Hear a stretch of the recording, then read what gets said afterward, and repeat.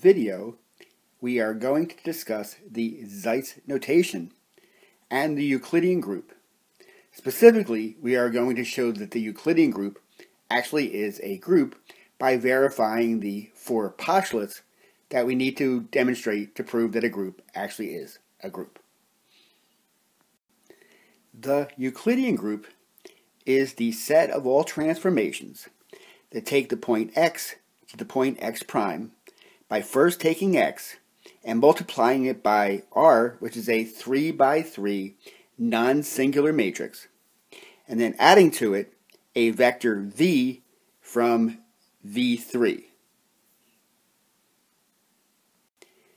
An important property of the Euclidean group is that each transformation maintains distances between two points we can think of each of these transformations as a rotation by r and then a shift by v. We can condense this transformation, the information in it, in the so-called Seitz notation, where we have curly braces, we have the rotation r, we have a vertical line followed by the shift vector v. we have an identity transformation. So if we take our vector x and we multiply it by the identity, that still gives us x. And then we add to it the null or zero vector. And this transforms into x prime, which is exactly the same as x was. So that means that this is the identity transformation. In Seitz notation, we can condense the identity to curly braces I for the identity matrix, vertical line, and then 0 for our 0 shift, the null vector. So this is the identity element. Now we need to fulfill the other group postulates to demonstrate that the Euclidean group has the group property. In our proposed group, the group elements are the individual transformations that we have uh, abbreviated with the Seitz notation and the group operation is composition. So let's show that if we compose two Euclidean transformations, that the result is also a Euclidean transformation. There are many ways to write this, but maybe most uh, easy to see is that we will have the first transformation be R sub R, V sub R. So this is the rightmost operator and then R sub L, V sub L for the left operator. And it will allow us to see what is going on more distinctly and clearly uh, where each of these operators come into the composition. We have the two operators act on the left on a uh, dummy variable x here. So the result of the first operation of this r sub r v sub r is to transform the vector x into x prime, which is now r sub r of x plus v sub r. So basically just using the definition of a Euclidean transformation. In the next step, we're going to take this point x prime and apply the leftmost operator r sub l v sub l to it. So we simply substitute our expression that we have for x prime here after operation of the first operator and we see that using the definition of the uh, Euclidean transformation, we get r sub l of x prime, which is r sub r x plus v sub r, and then at the end we add in the vector v sub l. So this is just using the definition of a Euclidean transformation. And now we will have the r sub l operate on this particular expression to see what we get we just allow the operator r sub l to distribute over this expression so that it gives us r sub l, r sub r of x plus r sub l v sub r plus v sub l. And notice that we have an expression that involves some operation on the variable x, so this is r sub l, r sub r, and we have some particular vector that is added to it, which is r sub l, v sub r plus v sub l. So we can write this in terms of Seitz notation as follows. So in Seitz notation, this becomes R sub L, R sub R, straight line, R sub L, V sub R plus V sub L. If we multiply two 3 by 3 matrices, we know that we get another 3 by 3 matrix.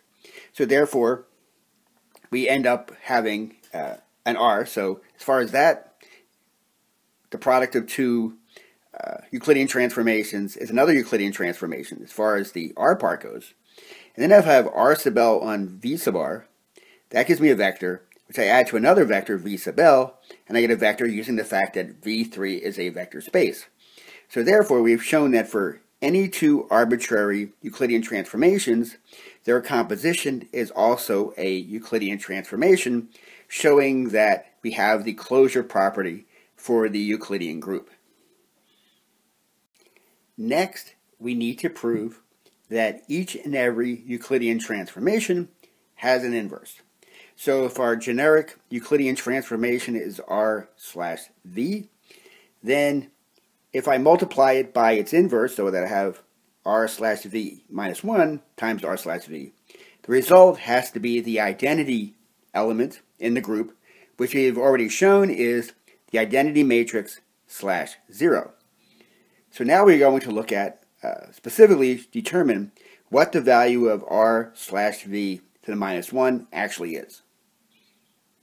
We are going to denote the inverse of r slash v with this Euclidean transformation, hypothetically so far, a slash b. So again, using the definition, if this is equal to the inverse of r slash v, then if we multiply this times rv, we should get the identity operation. We have already shown what the composition of two Euclidean transformations is. We verified that it is another Euclidean transformation. But we've also determined a formula to show that if we had two Euclidean transformations, we could write down an expression for it. So let's do that right now for the left-hand side of our equation. So we get that the product of a slash b on r slash v is going to be ar slash av plus b. We've already gotten that from the closure property. Now we're going to use this expression this equality that we have and do it in two steps. So we're going to essentially break this into two equations. The first equation is to notice that A times R, these are two operators, multiplied together end up giving us the identity operation. So we have AR equal to I. Since A and R are each 3 by 3 matrices, and I is a 3 by 3 identity matrix, we essentially have here by definition that A has to be the inverse of R. So that gives us that A is equal to the inverse of R, R to the minus 1. Here is the point at which we use the fact that the R's in our Euclidean transformation are non-singular 3 by 3 matrices. To complete our quest for the inverse, now we have the second of our equations. We have that AV plus B must be equal to the null vector 0. So we have that down here, AV plus B equals 0. And we can solve for B by subtracting uh, A times V from each side. First we have that B is equal to minus A times V, simple algebra here. But also we can use the result from our first line that A is equal to the inverse of R. So we replace A by the inverse of R. Now we get that B is equal to minus the inverse of R times V. Since we have expressions for both A and B, we now have an expression for the inverse of R slash V. And we have that the inverse of R slash V is R to the minus 1 slash minus R to the minus 1 of V. The final group property we need to verify is associativity. For this purpose, we're going to look at a set of three Euclidean transformations, R1v1, R2v2, and R3v3. For the first part, we're going to evaluate what happens if we do the first composition of transformations and then do the R3 second, and then we'll compare it to the case where we do R2 and R3 first, and then follow it with R1. For the composition of the two terms in parentheses, we end up getting the Euclidean transformation R1, R2, line R1, V2 plus V1, and then we're going to compose it with the final transformation R3, V3 to see what we get. Here we imagine that R1 times R2 is our RL, that R1 V2 plus V1 is our VL, that R sub 3 is our R sub R, and that V3 is V sub R. So that gives us the overall composition is R1 times R2 times R3, which is not too bad. But then the complicated part is that we end up having R1, R2, V3. So that's this operator acting on this vector. And then we have this vector left over, which is R1, V2 plus V1. So this is the result if we have the three operations, but we group the first two first. So now we want to compare the effect if we have grouped together the second two operations first. So now composing R2V2 with R3V3, we get R2 times R3, as we imagine. And then we end up with R2 times V3, R2 times V3, plus V2. So that's the result we get if we just leave the first operator, R1, V1 alone, and then we compose the second two. So now, for our comparison, we want to have this operator be composed with this operator and see what the result of that operation is.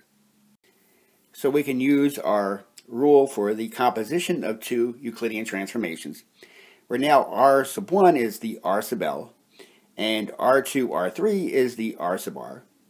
V sub 1 is V sub L, and then R2, V3 plus V2 is our V sub R. If we do that, we get that the rotations are R1, R2, R3, and then on the other side of the slash, we have, using the R1, operates on R2, V3 plus V2, which gives us R1, R2, V3 plus R1, V2, and then we add in this vector plus V1. And we notice that if we compare this uh, Seitz uh, operation for the Euclidean group with this, that they're exactly equal.